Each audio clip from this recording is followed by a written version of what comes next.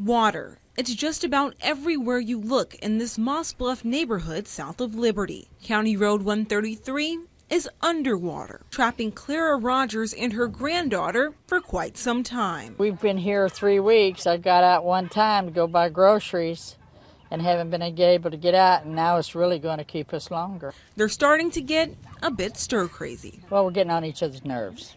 If that, if I don't get to do anything in because half of my summer is like almost gone. We're hoping it still confines itself to the river basin. So Tom Branch is the emergency management coordinator in Liberty County. He says the Trinity River is already above flood stage, and more rain won't help the surrounding communities. the more they open the gates, the more water comes out, the more flood event we have here. So that that's our biggest concern right now. Some who live in flooded areas are able to get out because their vehicles are high enough off the ground. Others rely on boats. If you're tired of that, if you want to come out, call the sheriff's office, non-emergency number. They'll come in, get the fire department to get you out. We'll bring you to one of the shelters, or you can go stay with a friend or relative. Rogers feels she and her granddaughter are safe where they are.